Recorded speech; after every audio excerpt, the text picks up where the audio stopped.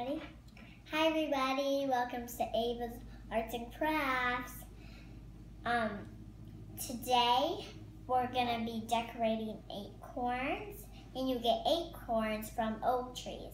So here are the things. First you need a paintbrush and of course you need an acorn and you need this and you need glitter so we have different glitters. So we have gold and we have red.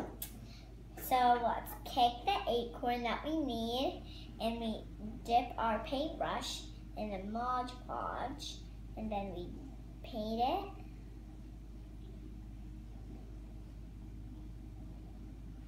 And then once we're all done, we dip it in a glitter and then we set it aside to um, dry, so let's get started.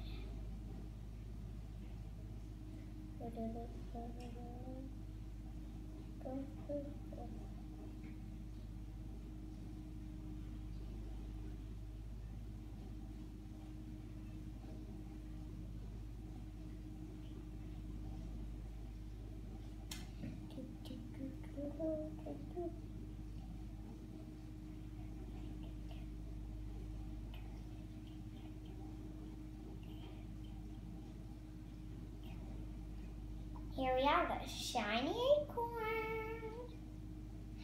So tell me if you like it. Bye.